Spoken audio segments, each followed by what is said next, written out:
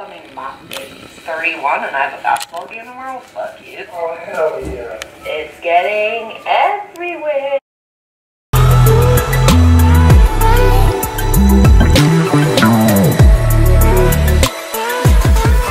I'm gonna try to film this video as nicely with the color correction and everything as possible because I don't have my phone lights and I'm back home.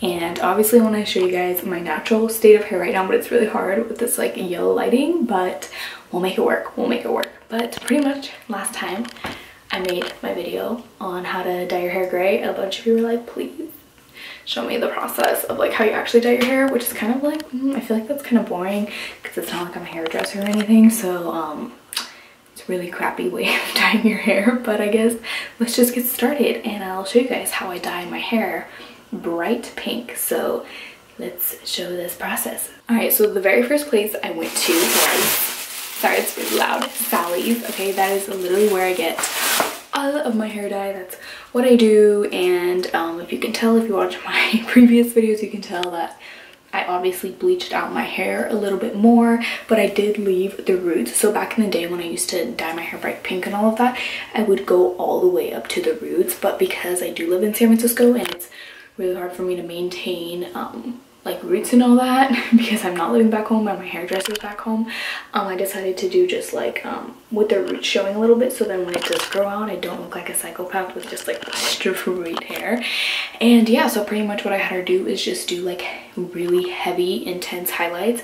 So that's how we got like the rooted look and um, as you can tell like my hair is really white down here and that's just from it being bleached out and processed so many times and up here it's a little bit more yellow. And if I was gonna be a blonde I would be like I really um, I would obviously tone it and bleach it out a little bit more but because I am putting such a bright color over it and not even a pastel it doesn't matter. I'm not gonna damage my hair even more than it needs to be damaged if I don't need to like have white hair for this hair color and which is like how I've maintained to go so blonde and white is because I've always put colored hair and then I've waited for it to grow out and then I would go over it. It's just kind of like a nicer way of going blonde is just to put color over it. I don't even know if that made sense, but um, yeah, so that's why it is all yellow and all that and not toned up there because I don't really care. It's gonna get dyed over with color anyway, so I'm not gonna ruin it with toner or bleaching it out even more because I know the color is gonna come out.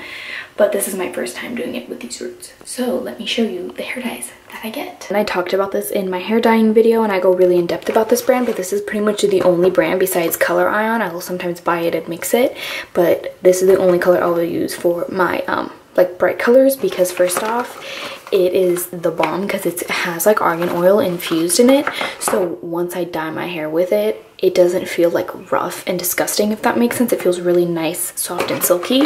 And so um, this is the color that i always use to dye my hair hot pink which is the one and only hot pink. Um, that's literally the color that's what it's called hot pink. So i use these two.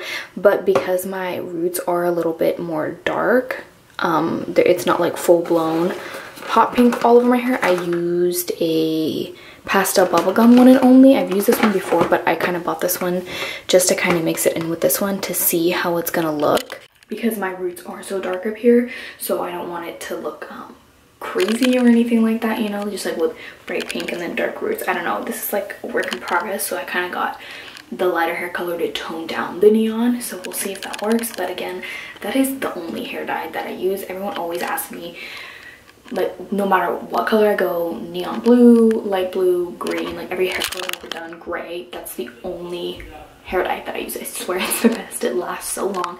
But again i don't know if it lasts so long because of my um like my hair is so white so we shall see. Like i can't like promise that but that like is my ride or die hair dye like i always use that one so something that i literally never knew because i'm such a noob is when you untwist this the back of this right here like the little pointy thing it just it's there so when you stick it in like that it opens it up i literally never knew that so that's just a trick for those people that are like me that never knew that so what i'm gonna do is i'm probably gonna put like half of it into a bowl.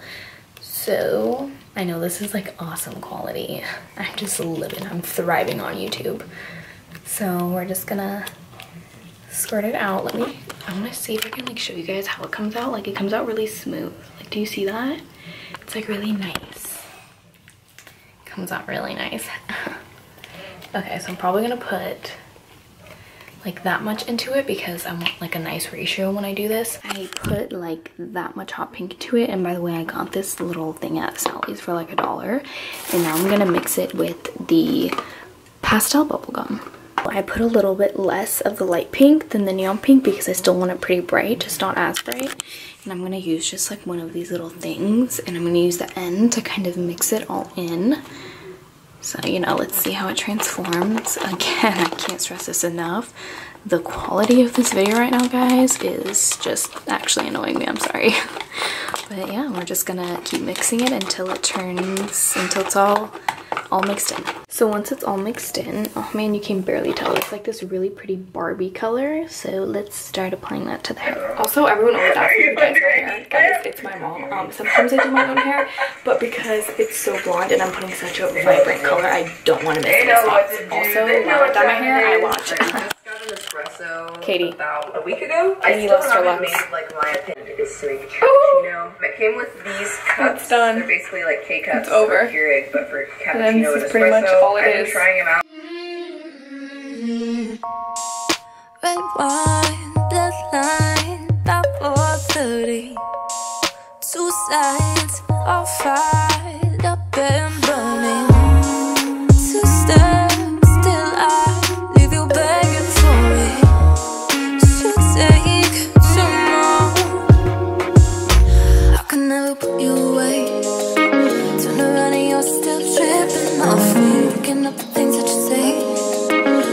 on my tongue, let it sink in slowly.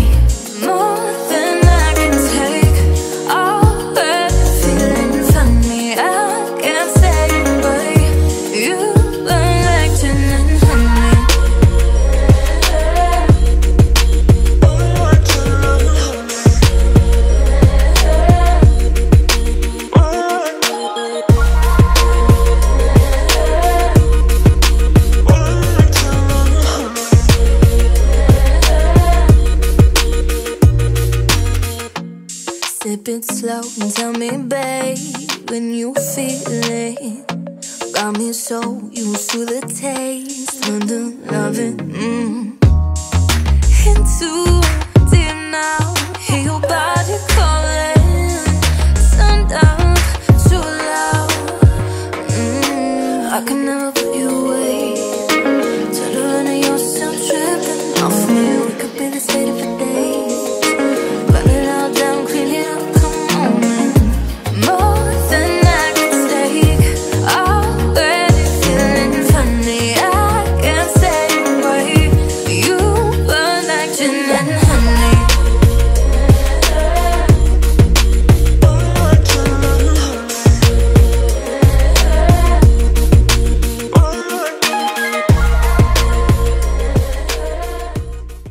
This is the finished result. No, just kidding. So I probably leave it up in this bun for like 30 minutes and then I'll wash it out.